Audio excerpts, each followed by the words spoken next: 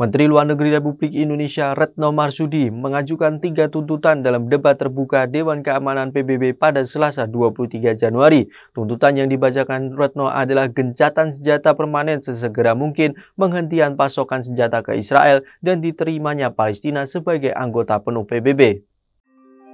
Retno mempertanyakan keseriusan Dewan Keamanan PBB untuk menjalankan berbagai resolusinya mengenai Palestina yang disebut Retno kerap gagal dilaksanakan. Setidaknya sudah dua resolusi yang dikeluarkan DKPBB sejak berkecamuknya perang Israel Hamas kembali pada 7 Oktober lalu.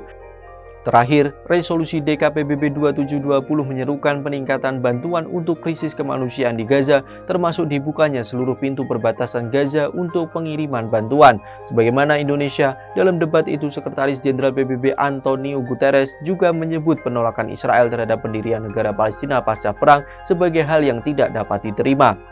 Dalam wawancara dengan VOA sebelum sesi debat digelar, Menteri Luar Negeri Palestina Riyad Al-Maliki yang mewakili Palestina dalam forum tersebut mengaku tidak heran dengan pernyataan Perdana Menteri Israel Benjamin Netanyahu yang berulang kali menolak solusi dua negara bahkan atas masuknya sekutu dekatnya sendiri Amerika Serikat.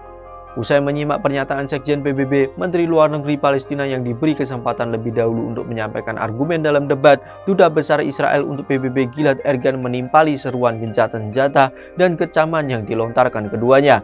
Ia mengatakan sebetulnya ada jalan untuk mengakhiri pertumpahan darah di Gaza jika DKPBB menyetujuinya.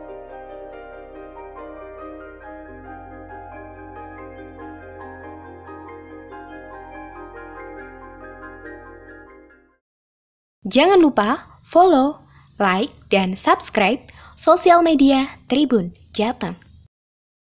Download Tribun X sekarang, menghadirkan lokal menjadi Indonesia.